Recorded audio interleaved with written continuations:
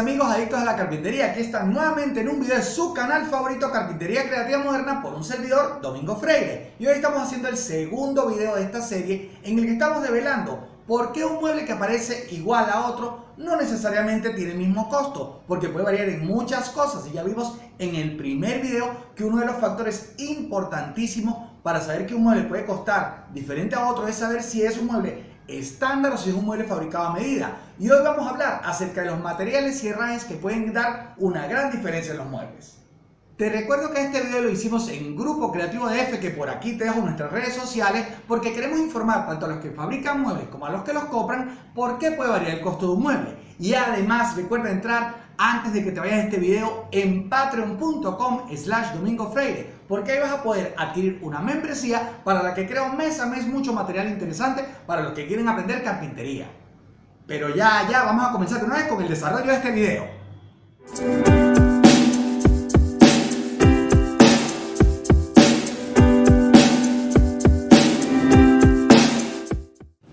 Iniciemos con un ejemplo, una cocina. ¿Cómo podemos determinar que una cocina vale más o menos? ¿Por qué? ¿Qué características tiene si yo consulto uno, dos, tres personas que hacen muebles? ¿Por qué me dan distintos costos? ¿Qué es lo que no me explican? Sí, que realmente eso es bien preocupante para el consumidor porque él ve una fotografía y puede ver una fotografía muy similar o la misma fotografía y un proveedor le va a decir que le cuesta, vamos a hablar de metros lineales, un metro lineal de cocina es de izquierda a derecha un metro y el gabinete inferior y el gabinete superior. Que A en ver, Venezuela es un costo y en- en, donde nos en- vean En son las particularidades de cada país puede Claro. Pero digamos, por decir números, por decir un número, una persona le puede decir que vale 500 dólares ese metro de cocina y otra persona le puede decir que vale 2.000 dólares. Entonces usted dice, pero ¿y esos 1.500 de diferencia dónde están? Porque el que no conoce es... no sabe por qué esas diferencias. Entonces Claro. tú eres el experto y nos vas a aclarar. Sí, y además yo quiero que este video lo hagamos para que todos seamos muy responsables con lo que estamos decidiendo Claro. escoger, porque el consumidor no puede librarse de la persona, de la responsabilidad de decir que es que él no sabe, porque cuando usted va a comprar un teléfono celular, cuando va a comprar un vehículo, cuando va a comprar una ropa, una prenda de calzado, seguramente usted se fija si ese zapato, la suela es de suela, o Claro. si es de goma, o si es vulcanizado. Entonces Pero tiene que hacer lo es- mismo. Es, parte de como del conocimiento, porque todos los que queremos comprar algo, Sí. tratamos un poquito de indagar eh, de qué será, pero vamos a hablarle a alguien muy joven o alguien que no ha tenido la oportunidad de conocer absolutamente nada de un mueble, porque eso es otro mundo. Muchas veces estamos muy familiarizados con comprar ropa interior, comprar nuestra ropa de vestir o quizás un accesorio o tecnología, pero cuando vamos a la parte de mobiliario hay una frontera, es lo que yo como vendedora he podido observar, Sí. que hay desconocimiento y las personas se guían por el precio y hoy queremos, entre otras cosas, irles revelando el por qué no solo te debes ir por el precio, tienes que saber más sobre el tipo de materiales que conlleva la elaboración de ese material, de ese mueble, perdón. Por ejemplo, hay materiales que se llaman MDP, MDF, HR. Ilústranos un poco, tenemos aquí unos ejemplos de Sí. qué es cada Bueno, uno de ellos. Esos son los tableros con los que hoy día va a hacerse, por lo menos internamente, tu mueble. Internamente me refiero a porque no estoy hablando de la cara cubierta, de lo que ves, de la cubierta externa de ese tablero.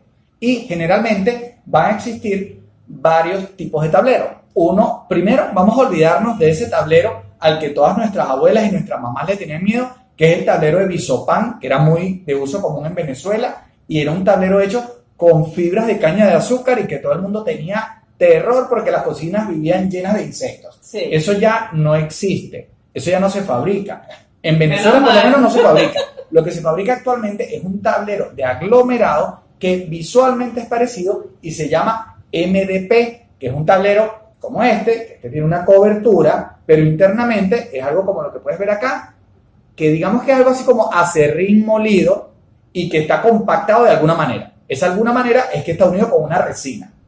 Exacto. Entonces, el, en cuanto a costos, MDP está, es menos costoso, Es menos costoso. que MDF. Es Y menos tenemos costoso. una piecita, aquí yo tengo una que lo uso para el muestrario de otros productos, pero Sí. puede ilustrar lo que es la diferencia si, si lo Sí, vemos aunque, aquí así en el lateral. MDF lo conocen muchas personas porque quien no ha visto una cajita o un letrerito hecho con MDF, actualmente es un material bastante que lo, lo conoce todo el mundo o lo ha visto cercano a él, ¿no? Bueno, por lo menos creemos nosotros. Sí, ¿no? y es Cajitas como esta es muy común verlas porque esto es MDF que les gusta mucho a las artesanas porque la pueden pintar, lo pueden decorar o simplemente lo ponen así en crudo y sirve para miles de cosas de decoración, de regalos, lo he visto muchísimo. Sí, Pero este es un poco más costoso que el tablero de MDP. sí, porque sus características de fabricación, digamos que el polvillo MDF es de Medium Density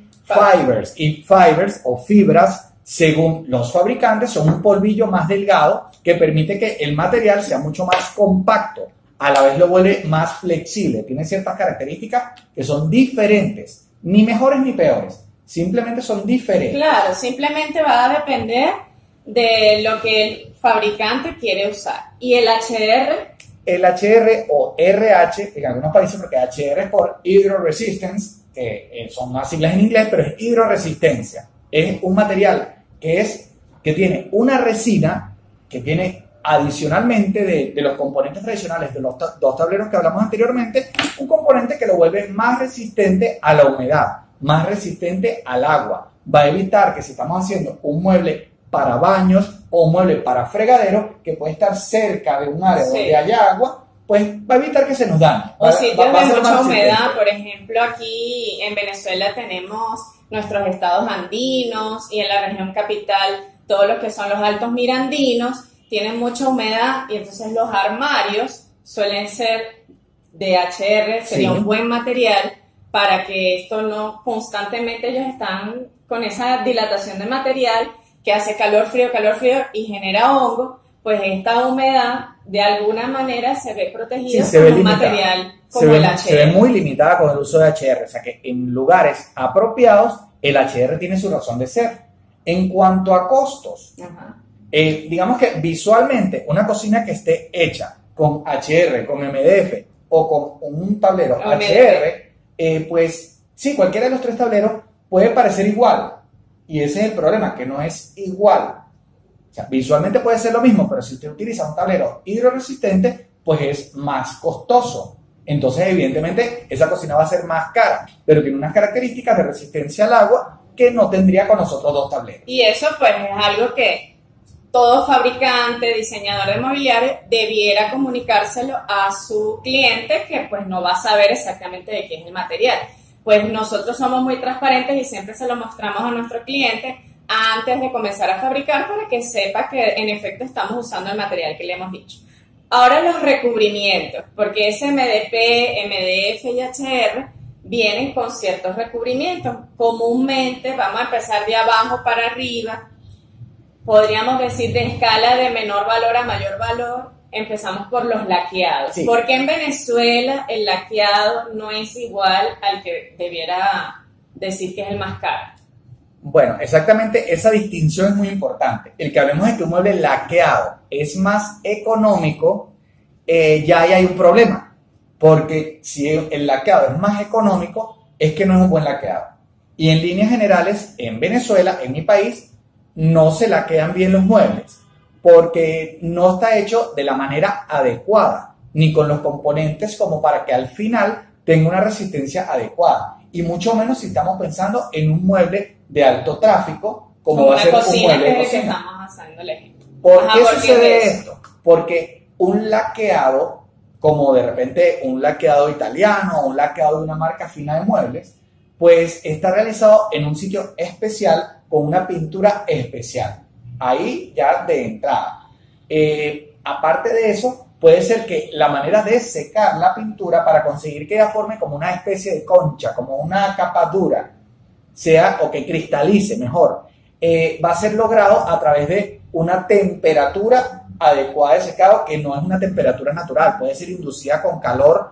En Al horno. Sí, incluso puede ser un horno, que no necesariamente es unas temperaturas tremendas, pero sí favorecen a la cristalización del tipo de pintura. Aquí en Venezuela, cuando muy buena, en líneas generales, de repente hay algún fabricante que sí lo ofrece. En usted está a investigar si lo que le están ofreciendo es la calidad óptima también, ¿no? Eh, en Venezuela, en líneas generales, lo mejor que usted va a encontrar es alguien que sea un buen laqueador automotriz. De hecho, aquí yo, en los que más confío para pintar un mueble que yo no tenga problema con que sea laqueado, eh, suelo utilizar una persona que tenga experiencia en la pintura de automóviles, de carros, porque son muy buenos con su trazo al pintar Y usan pistola. y, su- y usan pistola y la usan muy bien.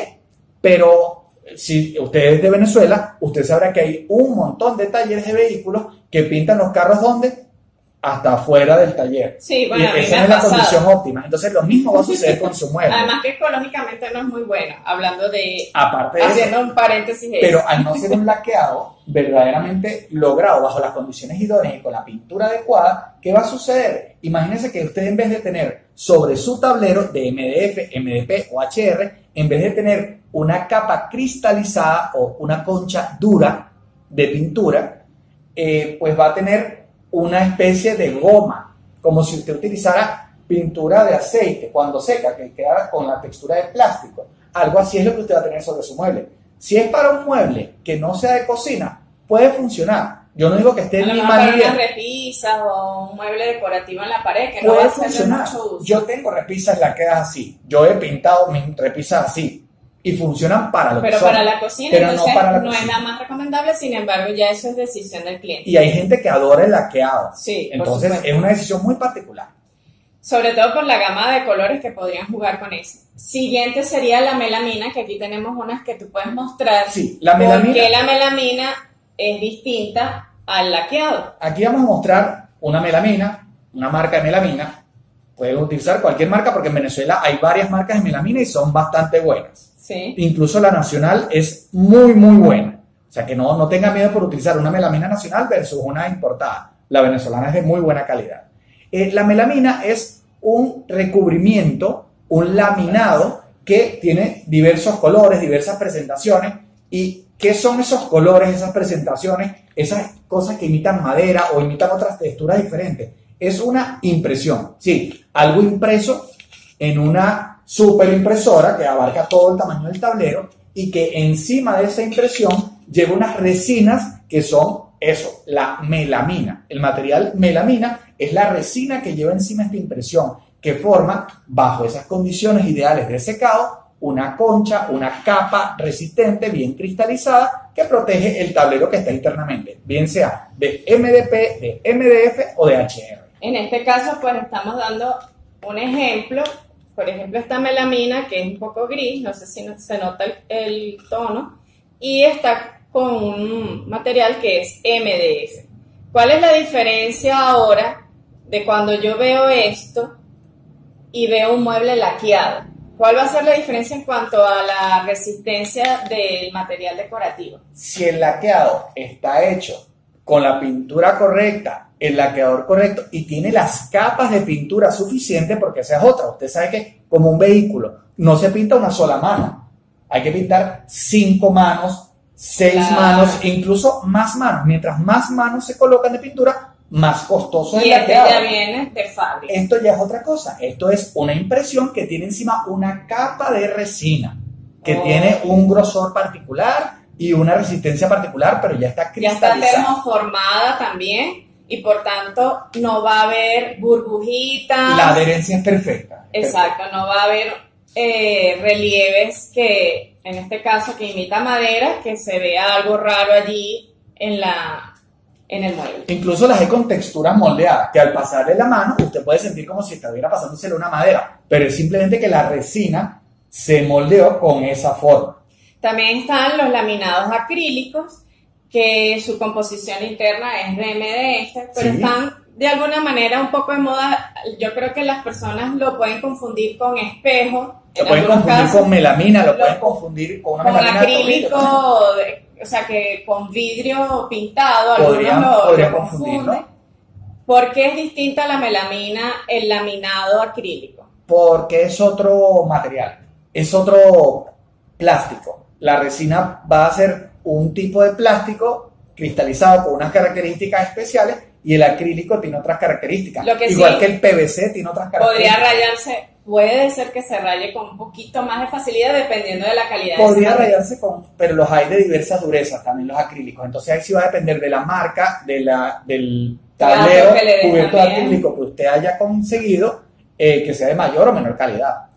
Seguimos con los laminados de alta presión, que me da mucha gracia porque todavía hay personas que le siguen llamando Fórmica y de aquí un saludo a Fórmica Venezuela, que son aliados comerciales de nosotros, pero Fórmica no es eh, el no es el nombre del material, es el nombre de la marca. Exacto, se llaman laminados de alta presión, que en este caso tenemos un muestrario de una de las marcas.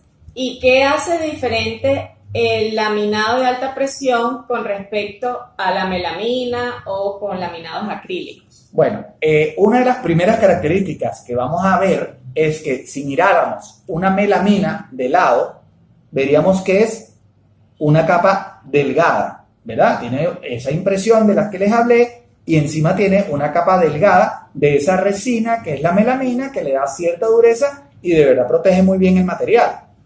¿Qué es un laminado de alta presión? Un laminado de alta presión. Imagínense algo así, como que el material en el que se imprimió no es un papel, sino es un cartoncito, un cartón. Es un poquito más grueso y que encima se le colocaron unas resinas que lo protegen también y lo vuelven más duro. Además, este material va a tener que ser adherido al tablero que usted haya escogido, de MDP, MDF o HR. Y en líneas generales, eso podría hacerlo bajo Y unas. Sí, podría hacerlo bajo unas condiciones medianamente industriales, pero al final los acabados sí requieren de un buen artesano o de un buen carpintero o de una buena persona que tenga experiencia manipulando este tipo Supongamos que usan MDF crudo como es en este caso. El primer paso, si elijo usar laminado, Sí. es colocar pega amarilla o cemento de contacto. Pega amarilla o cemento de contacto, Aquí. como es verdaderamente su nombre. Y en el laminado, supongamos Sí. en este laminado. Se coloca en la parte de atrás ese cemento de contacto y se coloca en la parte de- de- del MDF, de su mueble, Ajá. va a colocar una capa de cemento de contacto. Yo utilizo por lo menos dos capas de, pi- de- Cemento de de cemento de contacto en el tablero porque la primera capa suele ser absorbida y no suele funcionar como pega verdaderamente. De hecho, queda muy delicado y se puede despegar al poco tiempo. Y Exacto. cuando fabricamos un mueble, la idea es que dure muchísimo. Sobre todo una cocina, que es el ejemplo que estamos dando. Luego lo pegas. se deja secar, Se deja el secar. cemento de contacto, por eso se llama así, porque él va a pegar luego al contacto. Él, una vez que tú lo vas adhiriendo, no vas a poder moverlo. Él donde pegó, pegó. ¿Y qué sucede con esto? Que normalmente el laminado va a ser un poco más grande que el mueble o que la pieza de MDF que estás cubriendo. Y vas a tener que rematarla de alguna una manera. máquina especial Hay gente o, que lo hace con una máquina eléctrica y hay gente que lo hace a mano. Y a ambos les puede quedar maravilloso, pero tienen que tener la experiencia y la pericia para, para que no quede- queden los bordes filosos. A diferencia de la melamina, que a veces usan canto de PVC, pero eso ya lo vamos a hablar luego. Entonces, bueno, ya vimos la, el MDF, MDP, HR laqueado, el mismo material melamínico, el mismo material acrílico o, por último, el laminado de alta presión, comúnmente conocido como fórmica. Así es. Pasamos a los herrajes, que eso también es un mundo, los herrajes, pero también hacen que el precio de ese mueble que tú estás solicitando tenga un costo de una bajo o un costo alto. Vamos a decir un costo A, un costo B o un costo C. Sí. Empecemos por las bisagras, correderas. Aquí Lo- yo tengo dos, por lo menos dos bisagras que podemos mostrar. Pero este es el punto quizá más álgido o importante del costo de un mueble. Mucho más que el tablero con el que decidió realizarlo y digamos que el segundo en importancia o el primero en importancia dependiendo del material con que usted decidió recubrirlo. Bien, si fue pintado, si fue laminado o si usted decidió que tuviera una cubierta acrílica. La pieza importante de un presupuesto de un mueble de cocina son los herrajes, porque los saltos pueden ser de que un gavetero, sus costos sean simplemente 50 a 80 dólares a costar un gavetero 300 o 400 dólares. Ok, ilustranos entonces esos herrajes. ¿Por qué pueden variar tanto en el presupuesto final? O sea, lo primero que tenemos en, un, en unos muebles de cocina son puertas, ¿verdad? Ujú. Que las puertas, para su oscilación, para abrir y cerrar, requieren una bisagra. Normalmente se utilizan hoy día las bisagras de cazoleta. Son estas que tiene por acá. Y aunque todas parecen iguales, tienen pequeñas o grandes diferencias. Ujú. Pequeñas diferencias en que solamente en lo visual, de repente podemos ver de entrada que hay unas que cierran bruscamente y otras que cierran suavemente. Unas tienen freno y otras no tienen freno. Como esta, por ejemplo, esta no tiene freno, por eso cerró de esa manera. Y esta otra que es igualita visualmente, usted la cierra, Suavecito. ella tiene un sistema de cierre. Que frena la suavecito, es más, es más delicado. Esto evita que se dañe la puerta o el mueble con el golpeteo, pero más allá de esa simple característica de abrir y cerrar suavemente, puede haber varias calidades en las diferentes marcas de herrajes, Y eso igual que mismo- la en todos los productos. Y eso mismo puede variar si usaste bisagras de cazoleta para la puerta de madera o para aluminio o para vidrio. Exacto, eso también puede variar mucho, el material del que hagas la puerta, Exacto. porque no necesariamente es madera, está muy de moda el utilizar estos marcos de aluminio que Sí. tienen unas puertas de vidrio. muy lindo, Hay claro. muchas personas que les gustan, otros no, otros prefieren que no sea vidrio, sino que sea acrílico. Sí. Entonces ya ahí hay que sopesar. El costo de uno es mayor que el otro, pero uno se raya, pero el otro no se raya. Pero uno Esas se son las rompe y otro no se sugerencias que tiene que dar el cliente, creo yo. Pero más que todo, el experto es el que te tiene que ir guiando para que puedas saber la diferencia. Ahora también tenemos las correderas, que son las que van en las gavetas. Sí, porque ahí también, dependiendo de su gusto, de su selección, recuerda que siempre usted va a ser el responsable del tipo de mueble que está buscando y de saber si el personal o el carpintero o el mueblista o el O decorador o la empresa que usted decidió que le hiciera ese mueble, eh, si- saber si tiene esos profesionales adecuados. Una gaveta puede ser como las que tenían nuestras madres, que no tenían sistemas eh, de herrajes especiales para las gavetas. Tenía un canalcito y simplemente la maderita encajaba en un lado y así corría la gaveta. Eso tenía sus inconvenientes o sus pros, sus contras, era más barato, pero de repente no duraba tanto y cuando se rompía el riel no había manera de cambiarlo y por eso en casi todas las casas hay un gavetero que hay una gaveta que está suelta y nadie la arregló nunca. Sí. Otro sistema más reciente son ya las correderas de metal. Más reciente, pero tiene 40 o 50 años ese sistema. O sea que Claro, tampoco cada empresa la ha ido perfeccionando, porque marcas de herrajes actualmente hay muchas, ¿no? Sí. Pero están las más básicas, que todo el mundo le dice las chinas, porque son las más estándar, que no tienen marca. Aunque Y todos los las- los fabrican también. Exacto, pero digamos que no tienen marca, que son línea blanca. Ellos no le ponen un- una marca, no Sí. tienen nombre, entonces son las más estándar, son las más económicas del mercado y ya cada marca le va agregando, le va poniendo, le va mejorando. Entonces estas correderas pueden variar muchísimo.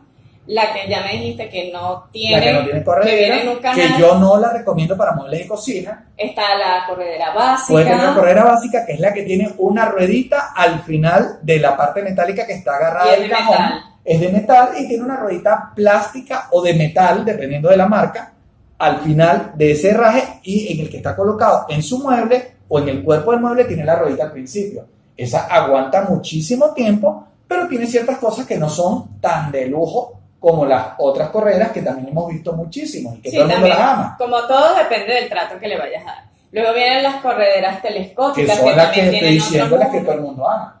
La correa telescópica se llama así porque nos recuerda un telescopio, ¿verdad? Que se estiraba. También much- en muchos países la conocen simplemente con la de máxima extensión o full extension, porque ellas abren totalmente, permiten que la gaveta salga totalmente.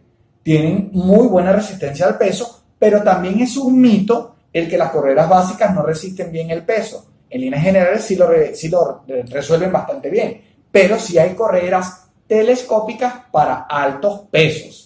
También eh, cuando haces una cocina, cuando decides elaborar tu cocina, quizás te puede gustar en la parte superior gabinetes tipo flipper, que son esas puertas que se abren hacia arriba, ¿Sí? no las puertas batientes, que se abren como las ventanas, que ahí usarías bisagras. Pero cuando usas flipper, puedes usar bisagra combinada con brazo hidráulico o herrajes especiales. Sí. Y en, tanto en el caso de los flippers como en el caso de los gaveteros, vamos a ver un caso muy especial, pero vamos a hablar de los flippers. Sí. Los flippers son los muebles que ese día, como bien lo dijiste, y ellos requieren pues algo que te asista en la apertura de la puerta. Para que la puerta para no se que- la puerta no se caiga una vez que la abriste, y eso suele ser o, o un bracito hidráulico o un sistema superior en cuanto a calidad, también costo, pero también en calidad. Igual pasa con las gavetas, que la gaveta más costosa es lo que llaman la gaveta tipo tándem, que es esa que viene Esos son los herrajes especiales. son los errores especiales que eh, todos soñamos tener, pero no podemos mentirnos con que ese no va a costar igual que la corredera básica. Sí, que hay carpinteros habilidosos como tú que suelen imitar a veces algunos de esos sistemas, por ejemplo, el, el condimentero, que es un herraje que viene a veces de tres modelos cuando está para una gaveta, y tú puedes imitarlo con otros materiales cuando pues el presupuesto de la persona no le da, pero lo ideal sería usar el condimentero Claro. metálico porque es el que está ideado para eso, con mayor resistencia al peso eh, y quizás hasta más belleza en el mueble. Están los le, Susan. Lazy Susan. Sí, ese, ese es muy conocido porque es que el gran problema común de las cocinas, y ahí es cuando usted se arrepiente de a quién contrató cuando contrató a alguien que usted sabe que le pagó menos que lo que costaba, es cuando usted tiene una cocina en L o una cocina en U y se le presenta los muebles en las esquinas, porque ahí puede perder totalmente el espacio de la esquina por no haber utilizado un sistema adecuado, que puede ser simplemente dos puertas que abran correctamente, pero su carpintero debe saber que existen bisagras que abren y le permiten un acceso correcto al esquinero, si no usted ya se dará cuenta cuando le fabriquen la cocina que no puede meter nada ni sacar nada. Y también existen los herrajes especiales que Y les que no todo el mundo mide, eh, pesa 40 kilos. O sea, Sí. tú necesitas un- una Un cocina espacio cómoda donde tú puedas guardar y que no te dé un lumbago por agacharte en esa esquina donde nadie puede llegar Sí. a guardar tus productos, tus ollas o los guardas en la esquina en el fondo que ya se, hasta, se olvidó que los colocaste allí. Y para eso puede ayudarle el definitivamente tomar la elección de un herraje especial como es un Lazy Susan El o como son los Magic Corner, que son sistemas de herrajes que vienen articulados como para que usted tenga acceso o un mejor acceso a lo que está dentro de ese esquinero o que las cosas que están dentro de ese esquinero usted las pueda sacar y accesar a ellas facilito. Hay un herraje que a mí me encanta, siempre se la recomiendo a mis clientes cuando deciden hacer una cocina, que es el escurridor de platos. Que recientemente pues hicimos una investigación y nos dimos cuenta que en Amazon, Estados Unidos, pues no existe ese modelo que nosotros o solemos es muy utilizar. difícil de encontrar. Bueno, ahorita a lo mejor específicamente no lo conseguimos, pero en Europa sí es muy común, en, aquí en Venezuela también, que se adapta según el ancho del módulo, pero es genial porque tiene su bandeja escurridora que suele ser de acrílico, a veces es de metal, y luego en la parte superior está el área para que vayas colocando los platos, las ollas y puedas escurrir hasta los vasos y las, y las copas y las tacitas todo- en la parte inferior. Y es decir, ese mueble es muy doble. gracioso, porque e- ese, ese mueble, ¿por qué digo que es muy gracioso? Porque muchas veces, eh, por ahorrarse ese accesorio que no tiene gran costo, los más costosos pueden llegarle a 50, 60 dólares, es verdad, pero usted dígame si no vale 50 o 60 dólares el que usted haya invertido en una cocina nueva y después se dé cuenta que siempre tiene que tener algo que es horroroso, que es ese bendito escurridor de platos sobre el tope que usted le costó un dineral porque usted escogió que fuera de una piedra especial que usted le gustaba, pero ahorita siempre tiene ese horroroso escurridor con los platos que no se han terminado de secar. Además que estéticamente no se ve muy bien y el desorden quizás si te viene una visita, tienes todo eso ahí guardado, cierras tus dos puertas y te olvidaste. De esos escurridores de platos también me, me, me encanta y los suelo sugerir, son las papeleras que van casi siempre, ¿no? Estar- colocan debajo del, del fregadero. Hay varias que se agarran a la puerta, otras que se agarran al cuerpo interno del mueble y al abrir la puerta o la gaveta sale la, la papelera, pero eso es muy bonito porque primero no te atrae insectos voladores. Segundo, es más higiénico en cuanto a que está ahí tapadito y no se fermenta tan rápido. Por nosotros aquí en Venezuela, pues no solemos vivir en un clima muy frío. Y hasta estéticamente, al menos que seas una cocina industrial que vayas a desechar muchísimas cosas, pues para una cocina común de familia, pues una papelera escondida dentro de este gabinete, que es un gabinete casi que se pierde en la parte inferior del fregadero porque suele uno poner las cosas de limpieza muy puntuales, es ideal, pienso yo que esta papelera... Es, es ideal porque, bueno, yo veo los muebles como mis hijos, como mis creaciones, ¿no? Entonces, no hay nada que más me moleste que una persona no haya querido invertir en ese tipo de pequeños herrajes que al final van a hacer que tenga una cocina espectacular para que le tome la foto, pero no le puede tomar la foto con el potecito, la papelera que va a poner ahí en la esquina, que le afea la maravilla que hizo. Al menos que sea una papelera muy grande y decorativa, que ya eso es otra Eso cosa. es otro uso que no suele ser el común, porque Claro. fíjate que incluso el que la papelera sea pequeña obliga a la persona a que saque los desperdicios antes Con de que tenga frecuencia. mal olor o que causen problemas en el área de la cocina. Otra cosa importantísima que hace que una cocina cueste menos o cueste más es el tope o encimera. Que eso pues tenemos varios materiales, empezando por la madera, que puede ser madera de pino, Sí. en el caso de Venezuela, que es la que más se comercializa, pasando por un tope de melamina, también un tope de MDF cubierto con un laminado de alta presión, Un acrílico también puede utilizar. un acrílico y nosotros pues recomendamos mucho de estos domingos que son los Solistone. ¿sí? ¿Por Esto qué, tienen por acá. ¿Por qué nos gusta tanto? Bueno, Comenta. a mí me encanta porque su relación de precio y calidad, a mí me parece que es lo mejor que tenemos en Venezuela. ¿Por qué? Porque si usted está soñando con tener un granito o un granito con características particulares de colorido, pues sepa que una piedra, aunque sí es una piedra, es porosa y si absorbe líquido, si absorbe manchas y eh, no es tan reparable como este producto. Además, las características de absorción de este producto son inferiores, por lo tanto, su acumulación de microbios es inferior que el de la piedra, que tendemos a pensar que es el mejor material para esto. Y no, la nueva tecnología ha creado nuevos materiales que además son preciosos porque no se notan las uniones entre las piezas. De repente, si usted va a unir el salpicadero o varias piezas de granito, se ha dado cuenta que siempre hay una unioncita que hacemos como que no se ve, pero sí se ve. Sí, sobre Bueno, todo la este unión entre el fregadero y el resto del tope se suele ver mucho. O con los frentes. imita bastante el granito, su, su decoración, sus puntitos. Sí, el dibujo, la piedrita. A nosotros nos gusta mucho porque también es fácil de trabajar. eh, es igual de, de responsable decirte que es decisión del cliente, pero aquí te estamos dando la gama de posibilidades. Ya te dijimos madera, melamina, que es esta que ya, si estás llegando hoy a la conversación ahorita, pues es este material. Y por supuesto los laminados de alta presión, que ya te explicó Domingo, pues es con MDF. Y bueno, también hay unos colores preciosos.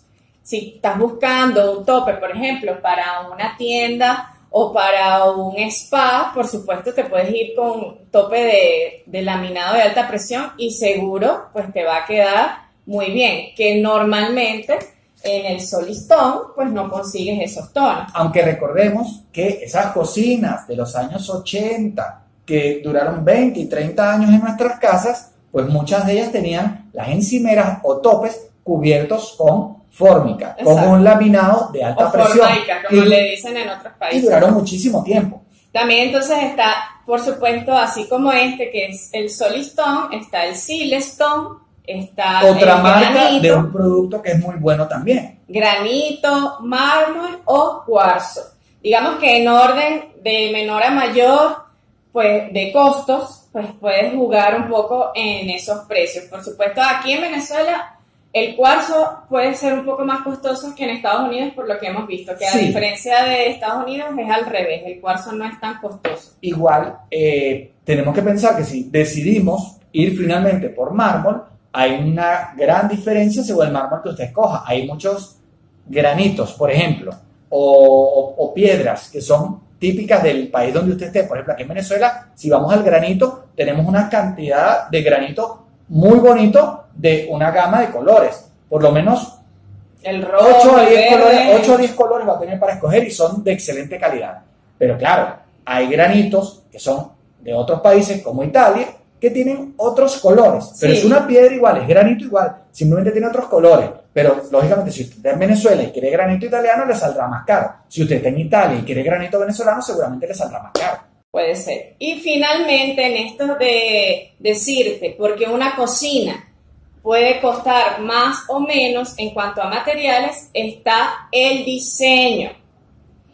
¿Buscarás un profesional para que te diseñe esa cocina o lo diseñarás tú? Porque yo puedo hacerte un dibujito, puedo agarrar un papel, hacerte una figurita de cómo quiero esa cocina y decirte, mira, Domingo, yo quiero que aquí esté el fregadero, me gustaría que tuviera tal eh, distribución, pero mi dibujito jamás ni nunca se va a poder llevar a la realidad si no lo hace un experto. Sí, digamos que si tú eres el cliente y le vas a decir a la persona que te brinda el servicio ese dibujito que le está diciendo Ángela, ese le va a dar una idea de qué es lo que tiene, de, de cuál es su necesidad o lo que usted cree que necesita. Seguramente, si es un profesional, eh, le va a tratar de escarbar, de sacar esas necesidades que usted a lo mejor no sabe que tiene. Y a lo mejor al darse cuenta que las tiene, de repente usted no sabía que no quería tener la papelera allá afuera si usted está teniendo una cocina muy bonita. O usted no sabía que existía un herraje que le resolvía el problema de almacenamiento que usted necesitaba Claro. resolver. Claro. Y, este, y este profesional quizá tiene el conocimiento que, que le dé eso. Pero ahí es muy importante que eso sí va de ambos lados. Sí. De el profesional ser un profesional verdaderamente formado para lo que hace y de el cliente ser sincero consigo mismo si usted decidió ir a comprarse unos zapatos hechos por un albañil. ¿Verdad? No tiene sentido. Y además Igualmente en eso- en esto del diseño. En eso, pues vamos a ampliarles de nuevo, porque la idea es que ustedes conozcan y dominen mejor esta información cuando consulten costos en redes sociales, por páginas web, llamando por teléfono o en motores de búsqueda como estamos nosotros en Google o en Infoguía. Las vías actuales. Por supuesto que tienes varias maneras. El dibujito que puedes hacer tú, pero que no va a convertirse jamás en la realidad, a menos que tú seas un experto en este tema. Y puedes hacer la práctica que Sí. es terrible, que es ir al señor que en la esquina viste que trabajaba en la calle y que tiene una sierra y a él tú le vas a mostrar el dibujito y le vas a preguntar cuánto te cobra por eso. Y él te va a decir 3 dólares más que lo que le cuesta el- el material.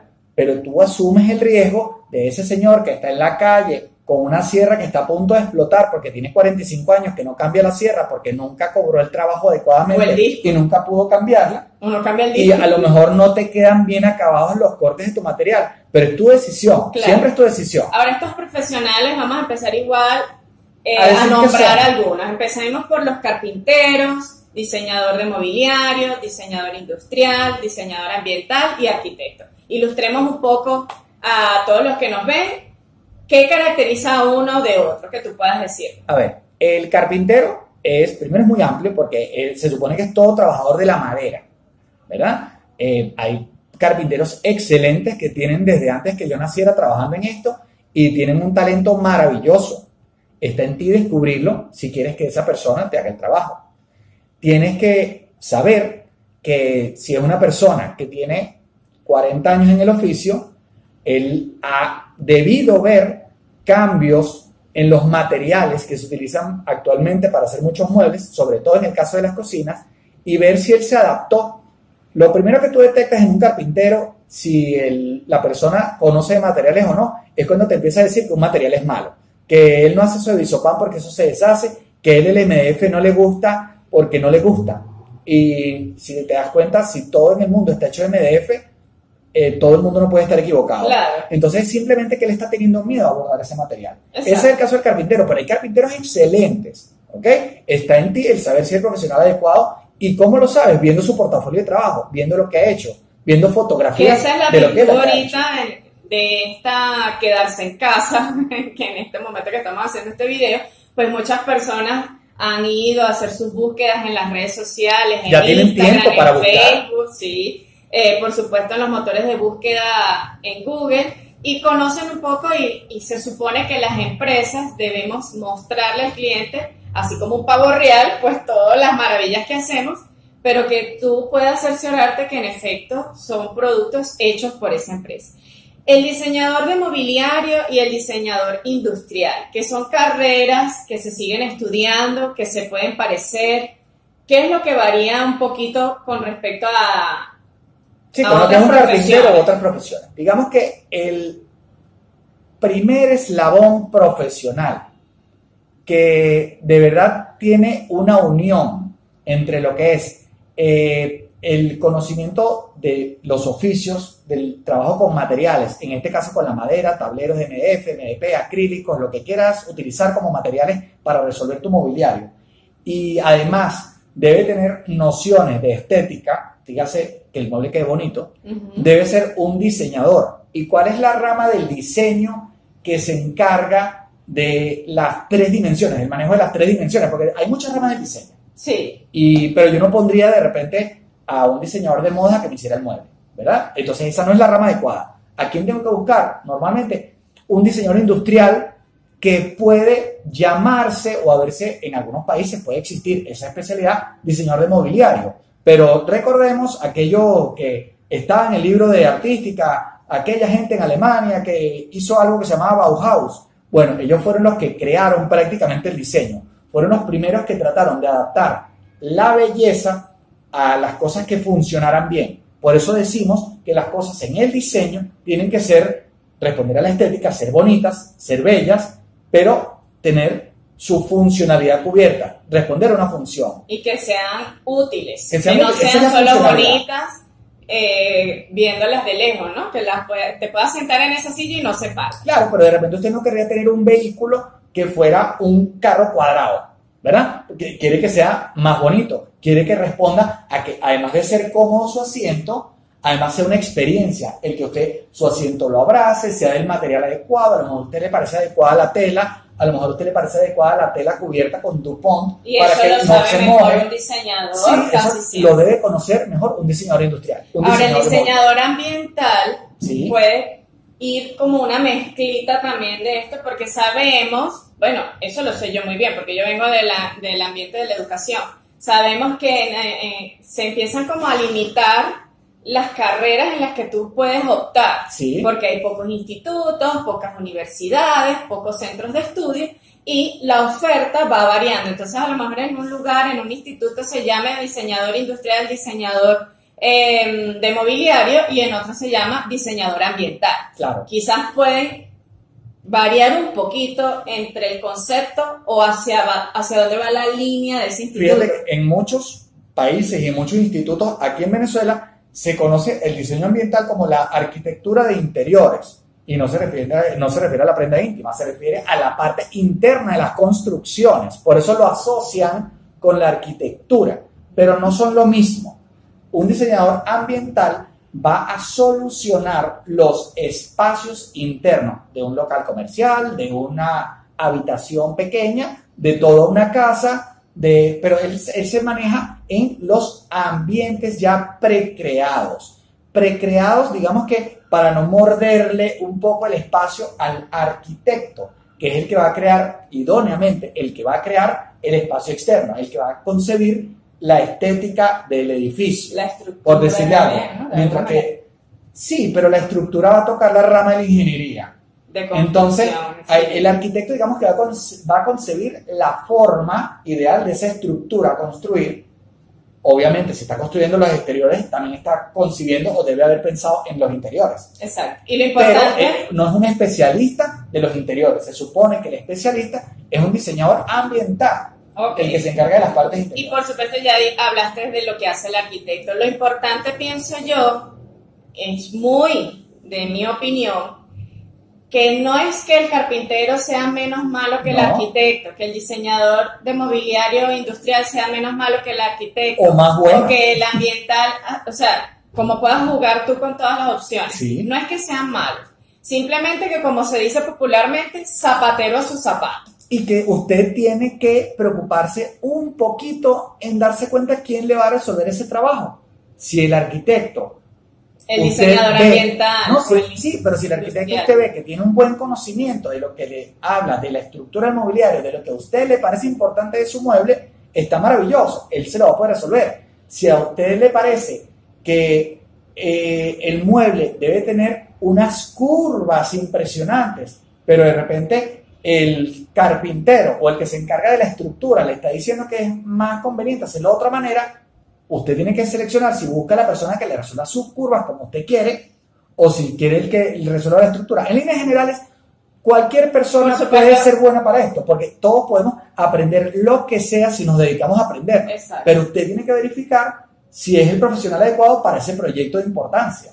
Y bueno, por supuesto que aquí le estamos hablando a los clientes, le estamos hablando a las personas que quieren conocer mejor por qué un mueble cuesta más o menos que otro, que es lo que lo está diferenciando. Y les hemos dado un abanico de productos, de opciones, de características, llegando hasta el diseñador, el carpintero, el que le va a concebir esa idea que usted tiene para su casa, para su oficina, para su local comercial. Aquí en Grupo Creativo F tenemos la virtud que contamos con un diseñador carpintero que es Domingo Freire, que con toda seguridad lo va a hacer excelentemente, diseñador industrial, y va a lograr concebir esa estética de ese producto, de ese mobiliario que tanto está buscando. Claro, y por ejemplo, usted tiene que saber qué necesidades está cubriendo. Por ejemplo, ¿qué hacemos en Grupo Creativo DF? Que usted tiene que ver si lo hacen las otras empresas a las que usted va o si lo hace el carpintero al que usted decidió ir.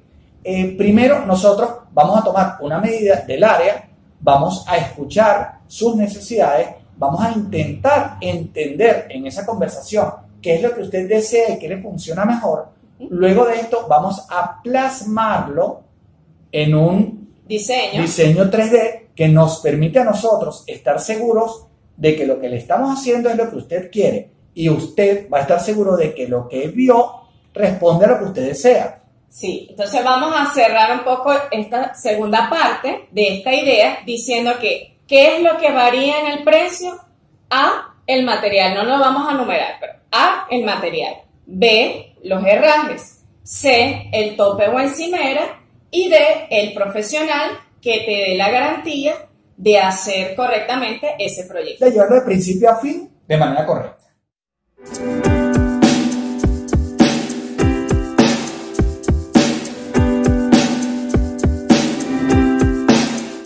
Espero que te haya gustado mucho la información que encontraste hoy en este video. No te me vayas sin antes suscribirte, comentar, compartir y darle me gusta al video. Y no te me vayas porque por aquí te dejo un par de sugerencias que te van a gustar mucho si quieres aprender más de carpintería. Nos vemos en un próximo video.